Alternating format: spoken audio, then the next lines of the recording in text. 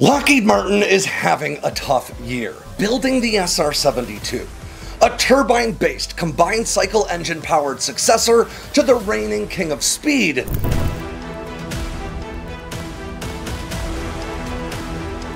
The SR-72 son of the Blackbird may be the most capable concept aircraft ever created, which leads me to the SR-72 and one of the biggest adaptations that we're going to see in the SR-72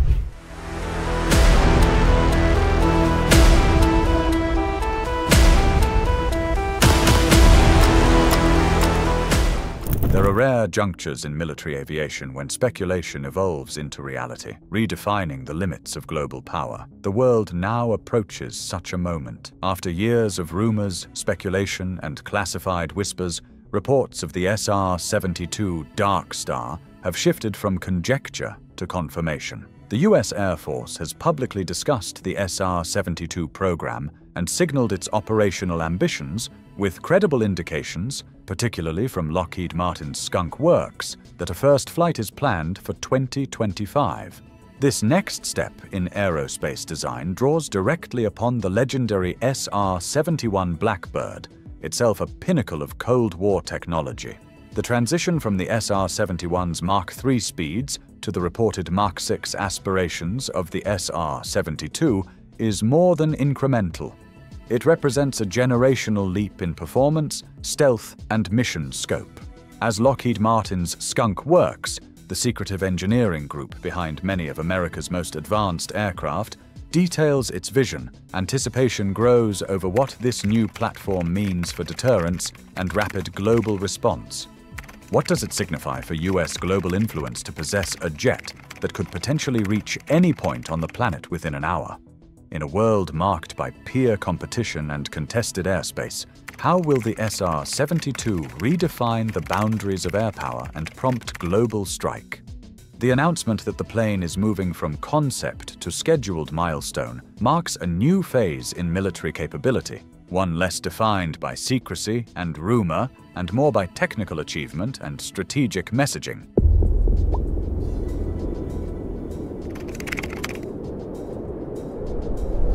Legacy of Speed, from Blackbird to Dark Star. Understanding the promise of the SR-72 requires a look back at the original Blackbird. Conceived and built in the urgency of the Cold War, the SR-71 was a marvel, cruising at over Mach 3 at altitudes topping 80,000 feet. It gathered intelligence with impunity, outpacing and outmaneuvering defensive efforts by adversaries. Its existence changed how the US perceived and approached global reconnaissance, with speed and altitude providing security previously unmatched by other platforms. However, with the end of the Cold War and the rise of ever more sophisticated air defenses and reconnaissance satellites, the utility of the SR-71 faded. Its roles were diffused among newer systems. Still for decades, no successor matched its unique blend of speed, reach, and survivability. Military needs continued to evolve. The increasing speed and reach of surface-to-air missiles, the global proliferation of detection networks, and the unpredictable pace of emerging crises called for capabilities beyond those found in traditional aircraft or satellites. Suddenly, the prospect of hypersonic, near-invisible flight once the domain of blue sky research, became a strategic imperative. It was within this context that talk of the SR-72, sometimes referenced as the son of Blackbird, began to surface. Rumors and unconfirmed sightings of unusual aircraft further fueled speculation. Lockheed Martin kept to guarded statements while hypersonic research ramped up. Test imagery and UFO-like aircraft glimpsed above remote American bases created further intrigue, though concrete details remained elusive.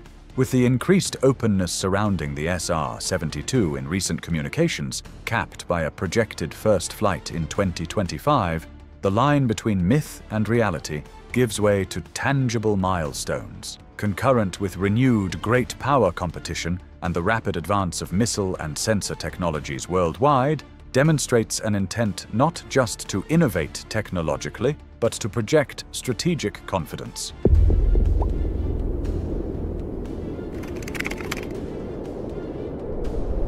Technical ambitions, the hypersonic frontier. Hypersonic flight, defined as speeds exceeding Mach 5, is an engineering frontier full of immense challenges. The SR-72, as described, is envisioned to reach Mach 6, doubling the speed of its predecessor and far outpacing any current operational platform.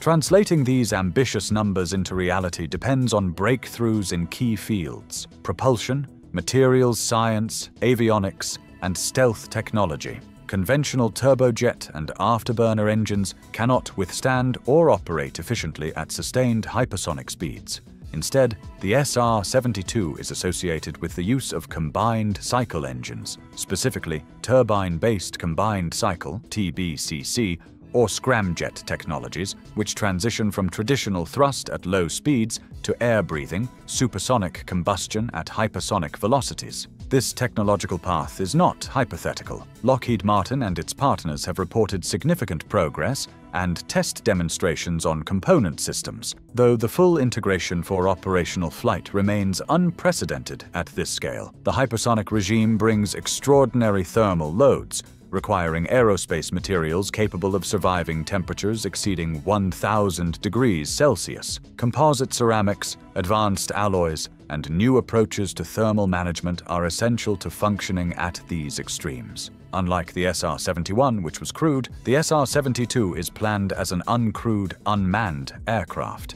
This brings both advantages and challenges, by removing the pilot, the airframe can be optimized for speed, stealth, and survivability without the limits imposed by human endurance or requirements for cockpit safety systems. Avionics, guidance, and mission controls rely on sophisticated autonomy and human on-the-loop supervision, an increasingly common feature in modern air power.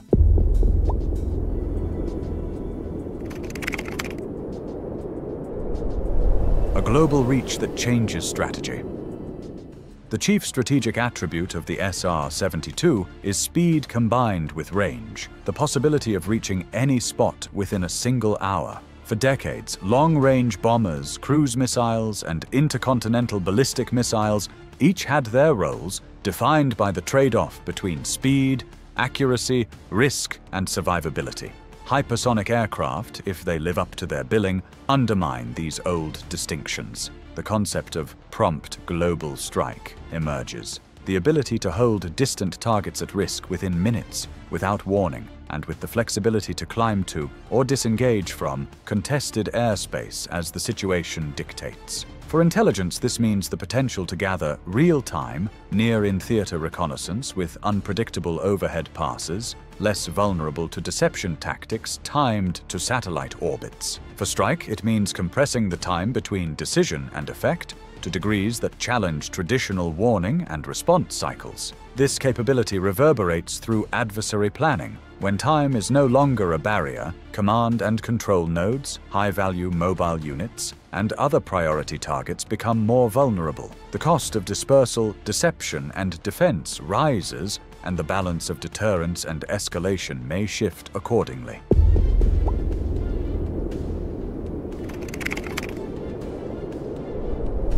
Stealth reimagined for the hypersonic era. One of the defining characteristics of Skunkworks aircraft is stealth, and the SR-72 is expected to leverage next-generation design to minimize detection. The original Blackbird used shaping and radar-absorbing materials to reduce observability, though it predated the contemporary stealth revolution. The SR-72, benefiting from decades of advances, is described as having an advanced angular design for minimal radar return. Every measure is directed at reducing the chances of detection from ground-based and airborne sensors alike. However, at Mach 6, the challenges of detection are complex. The heat generated by the airframe creates a thermal signature that infrared sensors can exploit, and the frictional heating threatens both survivability and signature control. The solutions, high-temperature coatings, active cooling, and optimized exhaust treatments are crucial not only for overall airframe longevity, but to preserve survivability in hostile airspace. The autonomy of an uncrewed platform also brings opportunities for stealth enhancements. Lacking a cockpit and associated systems, the aircraft's shape and systems can be even more tightly optimized for low observability. Moreover, electronic warfare and decoy deployment could be integrated into the mission package, further confusing adversary networks.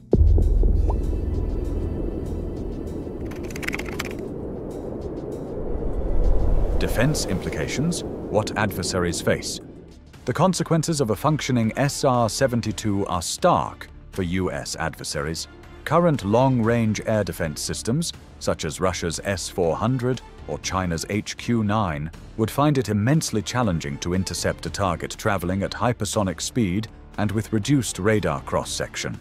Sensor fusion and defense architecture improvements become necessary, but even then, the engagement window is minimal. The combination of uncrewed operation, stealth, and hypersonic speed opens scenarios in which the SR-72 could bypass or outpace current and near-future air defense systems. In addition to reconnaissance, it could serve as a prompt strike platform, potentially delivering small, precise, hypersonic weapons though official details on payload and armament remain unconfirmed and likely classified. This potential forces strategic recalculation. In a world where major powers invest heavily in layered air defenses, the very premise of airspace sanctuary is disrupted. Even the psychology of deterrence shifts. The knowledge that response time is cut to a fraction and that any location could be reached complicates adversary planning and may alter peacetime posture, dispersal, and readiness measures.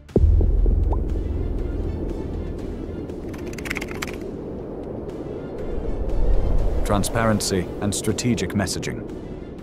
For years, the reality of the SR-72 was a matter of speculation and ambiguity, the subject of forums, analysis, and occasional sensational headlines. Now, with more concrete disclosures and the scheduling of a first flight, the program has moved from rumor to reality in the public eye. This is not accidental. Strategic ambiguity can itself be a form of deterrence, but once a capability nears practical demonstration, transparency becomes a signaling tool. By revealing the existence and progress of the SR-72, the United States is not merely boasting technological achievement, it is delivering a message to rivals about the durability of its air power lead. While specifics about operational capability, deployment schedules, or mission profiles remain classified, the acknowledgement of a first flight timeline is a deliberate act shaping expectations among adversaries and allies alike.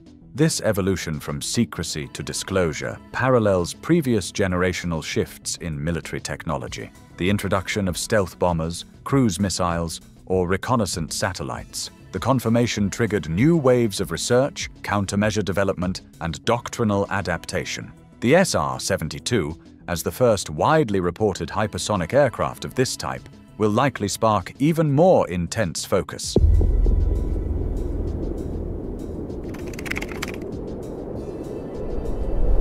Arms control and stability considerations. With the arrival of hypersonic aircraft like the SR-72, long-standing arms control frameworks are challenged. Most treaties and agreements date to an era when missile and aircraft technology were subject to distinct categories and clear timelines for detection and response. Hypersonics erase many of these distinctions, compressing warning and decision cycles and blurring the lines between reconnaissance and strike. The rapidity and ambiguity introduced by hypersonic capabilities increase the risk of miscalculation. For example, if an adversary cannot distinguish whether a fast-approaching platform is gathering intelligence or preparing to deliver ordnance, crisis stability may suffer. Accordingly, arms control experts and policymakers have called for renewed dialogue on how to manage escalation and interpret the signals associated with these emerging technologies. At the same time, the US lead in hypersonic platforms could provide some measure of deterrence against both conventional and strategic challenges, at least so long as effective countermeasures and competing platforms lag behind. Yet experience shows that technological advantage compels investment by others. The broader diffusion of hypersonic technologies now appears inevitable.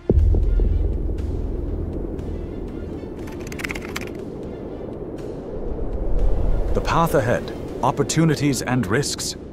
the anticipated operational debut of the SR-72 in 2025, while significant, will not single-handedly redefine all aspects of air power the challenges of integrating new technologies at this speed and complexity remain formidable. Reliability, maintainability, mission adaptability, and cost effectiveness all await practical demonstration. There are also strategic limits. The very attributes that make the SR 72 formidable unmanned operation, hypersonic speed, and stealth also create dependence on supporting systems. Secure communications, resilient command and control, and persistent intelligence. Adversary efforts in electronic warfare, cyber operations, and sensor fusion will doubtless intensify in response, seeking vulnerabilities to exploit. Meanwhile, the US will have to balance the roles of the SR-72 against the complementary strengths of satellites, conventional aircraft, and hypersonic missiles. Allies will watch closely, seeking reassurance as well as knowledge transfer, while rivals accelerate counter-hypersonic research, including missile defenses, high-powered lasers, and adaptable early warning architectures.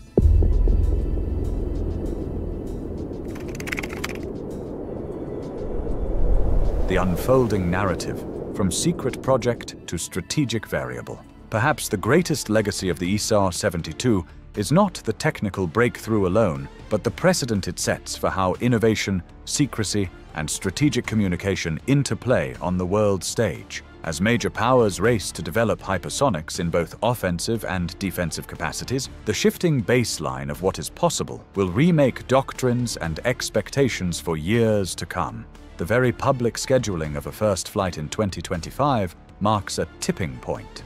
While operational details remain withheld and much of the public narrative still relies on deduction, the existence of a program, now openly discussed by both the US Air Force and Lockheed Martin, alters adversary planning in immediate, concrete ways. The world's militaries are unlikely to remain passive. Russian and Chinese investments in hypersonic missiles and new air defense technologies signal the beginning of another round of aviation and missile development competition. Even as the US temporarily pulls ahead, the arms race for speed, stealth, and survivability will only accelerate.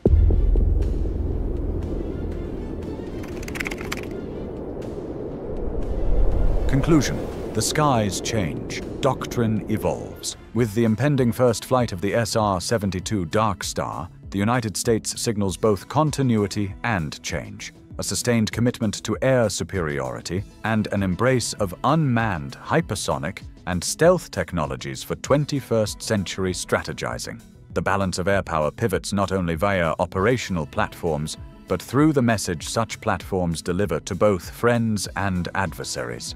Deterrence may be strengthened, but so too may the risks of rapid escalation and confusion in future crises. Arms control frameworks, alliance commitments, and global security calculations will all require adaptation. What is clear, however, is that with programs like the SR-72, the US shapes not only the technological dimension of competition, but the very outline of strategic possibility. The SR-72 is no longer just a notion relegated to black budgets and rumor mills. Its development, now on the threshold of public demonstration and operational reality, stands as a testament to the evolving interplay between innovation, secrecy, and security in our time. As the scheduled debut of the SR-72 draws closer, its impact on military doctrine and global air power will continue to unfold, leaving an indelible mark on the speed, reach, and nature of 21st century strategic competition. The era of hypersonic flight is upon us. The full implications for deterrence, defense, and broader international stability will only become clear with time. But this much is sure the United States, with the Dark Star, stands at the forefront of the unfolding future of air power, and the world will be watching as that future takes flight.